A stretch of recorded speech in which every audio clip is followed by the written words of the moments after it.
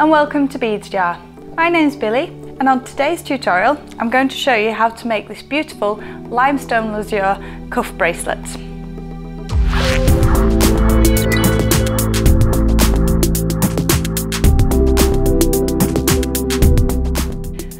For this lovely honeycomb project we're going to be using our cuff bracelet, two packs of the honeycomb beads, these size 11 matte um, Miyukis, a 0.4 gauge wire, side cutters and a pair of flat nose pliers. Cut a generous amount of your wire. I've probably suggest starting with at least a metre and a half and then we're going to take our cuff. So you just want to start by wrapping a section of the wire. So I'm just going to spiral round we're just coming over the top and I'm going to do this four times. So I'm making a coil of wire.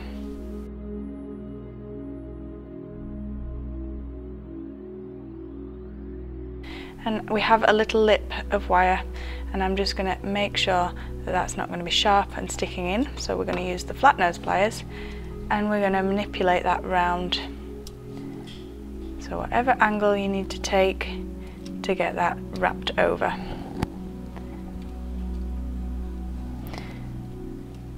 So you make sure you're nice and happy with the start process on that.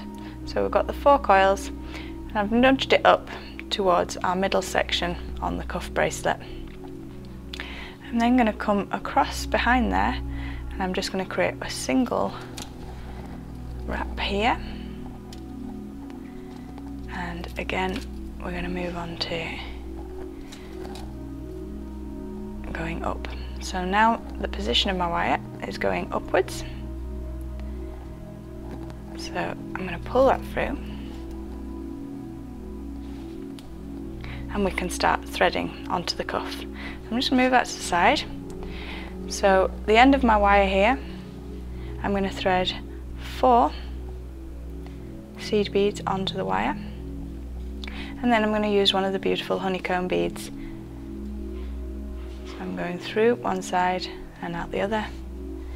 Another four seed beads.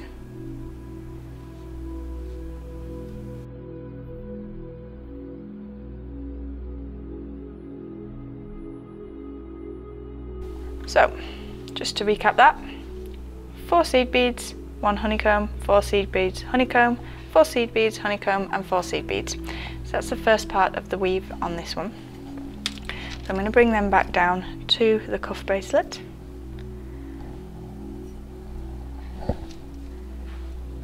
So as you can see now, we have them on there. And I'm going to take that coil up to the top. So I'm at the top of the bracelet and we're going to wrap round. So however is most comfortable for you to do this. I'm going to support that in with my thumb and I'm going to wrap. Just watch yourself with this wire, it's springy so watch where it's flicking. I'm going to create four coil twists on this side as well.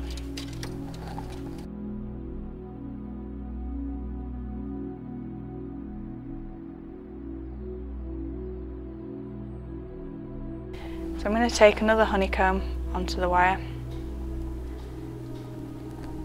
and take that down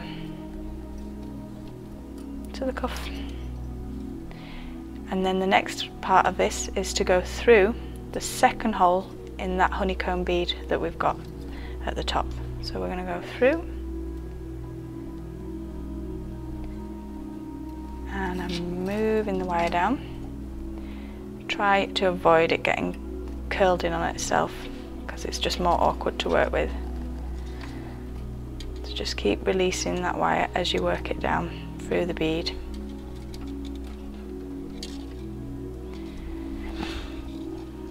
If you get a twist, just ease it out and just work it down.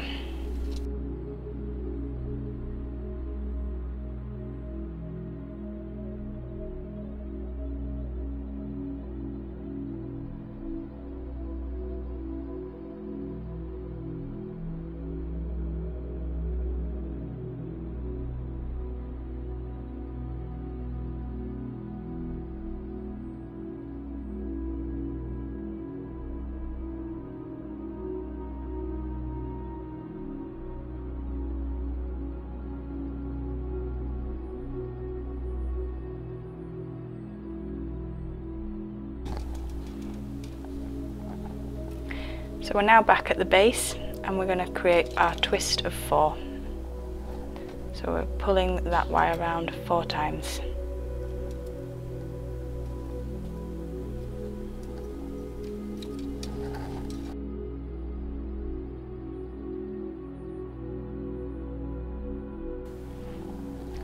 So I'm on the fourth loop and I'm going to take my wire back up through the second hole the honeycomb bead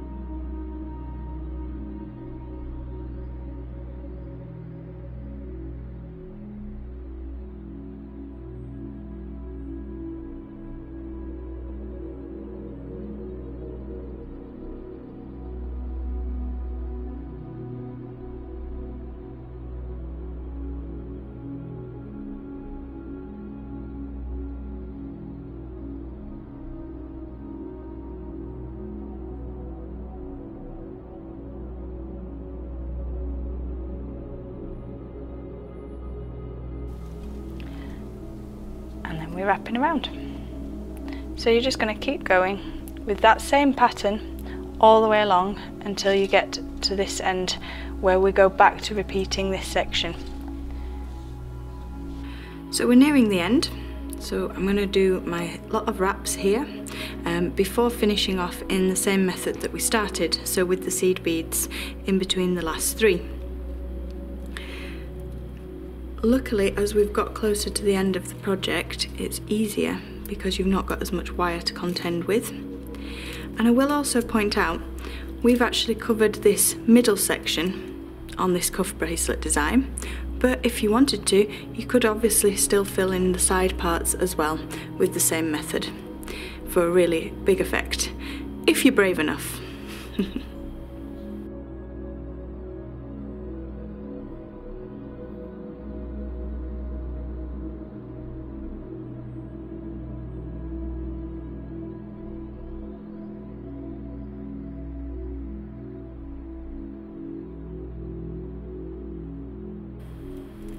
as we get closer to the end of the project the spacing is a bit more narrow so be aware you've just got to take a bit more time to get all the beads threaded on because it's harder to get into the gap.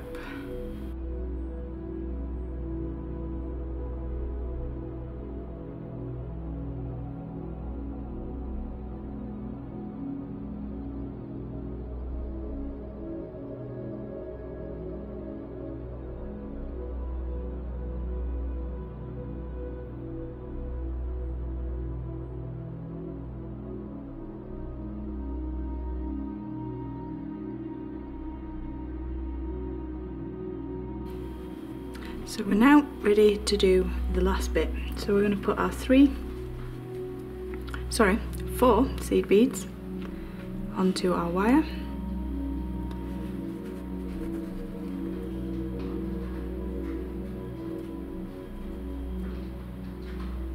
And then go back through the honeycomb and add another four seed beads onto the wire.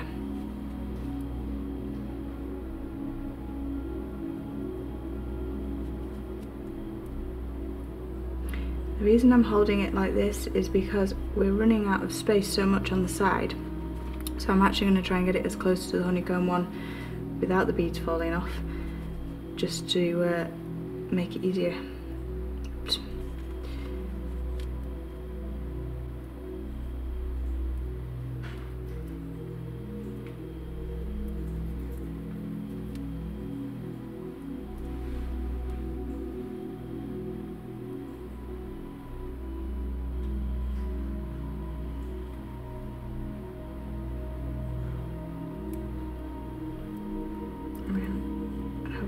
Go straight through the honeycomb one and put the next four on.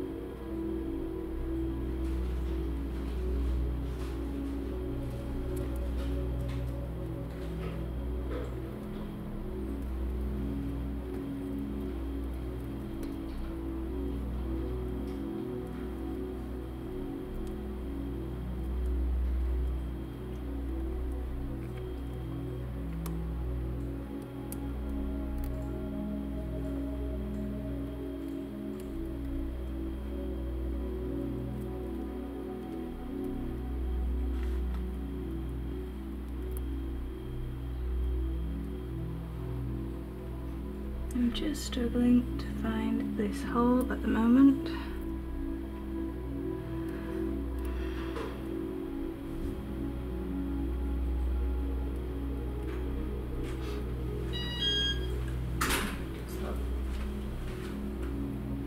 I'm just going to pull some of this wire through. We seem to have hit a stiff bit in the wire and it's not cooperating I would like. Just straightening that out a bit to pull that through.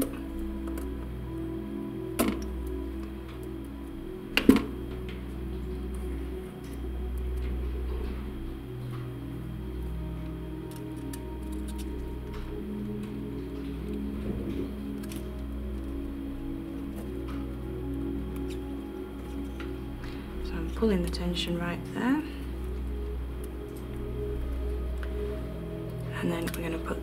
Last four on this end before coiling round. Just going to remove, I've got a bit of a wobbly end on the wire so I'm just going to take that away because I've still got plenty of wire left.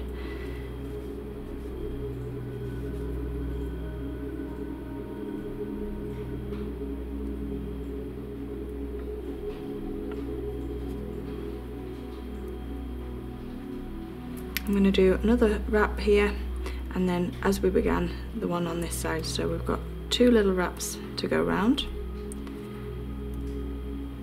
And we've got a bit of a narrow gap forming here. So we're just going to do the two two loops round with our wire. And then we take that under and over and we finish with the three like we started. So under and over there and then round three times.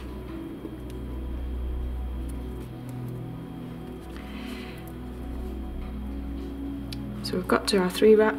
We're going to take some of the excess wire away, leaving a bit of a tail, about two millimeters, three millimeters. And then this is when we can use our flat nose pliers to secure the end on. So I'm just going to rock them round the actual cuff. So I'm spinning that edge in so it's finished nice and smooth and there's no sharp bits on the actual bracelet. As I said, we've done the middle section here, but if you wanted to, you could fill the two outer sides as well with the beads. But it's not really for the faint-hearted. And then that sits beautifully like a tiled effect when worn.